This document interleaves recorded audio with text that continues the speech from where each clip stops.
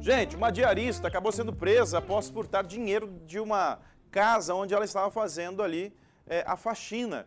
Lamentável essa situação, né? A gente sabe que, as, que é, a situação não está boa para todo mundo, todo mundo querendo trabalhar, todo mundo querendo ter o, o, o seu ordenado ali, né? E triste demais a gente saber que uma diarista que a família muito provavelmente confiou a, a, ao espaço ali, a casa a ela, né? acabou se envolvendo nessa situação.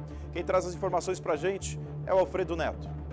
Um crime de furto foi registrado no final da tarde, já começo da noite, desta quinta-feira, lá na DEPAC, a Delegacia de Pronto Atendimento Comunitário. Uma mulher de 23 anos que havia sido contratado como diarista para fazer uma faxina na casa de uma mulher de 38 anos foi presa após subtrair 800 reais que havia no guarda-roupas da vítima.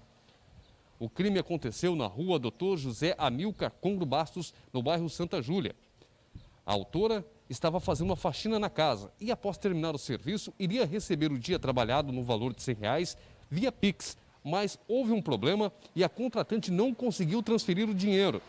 Então ela precisou sair do trabalho e ir até a residência para pagar a diarista.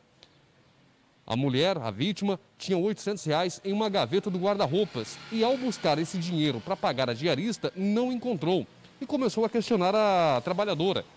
A mulher relatou que não havia visto dinheiro, mas como não havia ninguém entrado na casa estranha sem ser a diarista, a conversa não colou. A polícia militar foi chamada e a diarista acabou confessando que teria pego o dinheiro e escondido no buraco do guidão da bicicleta. Para a polícia militar, a diarista confessou o crime e entregou o dinheiro que estava escondido no buraco do guidão.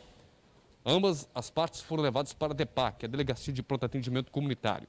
A diarista de 23 anos foi autuada pelos crimes de furto qualificado com abuso de confiança, o dinheiro devolvido para a vítima.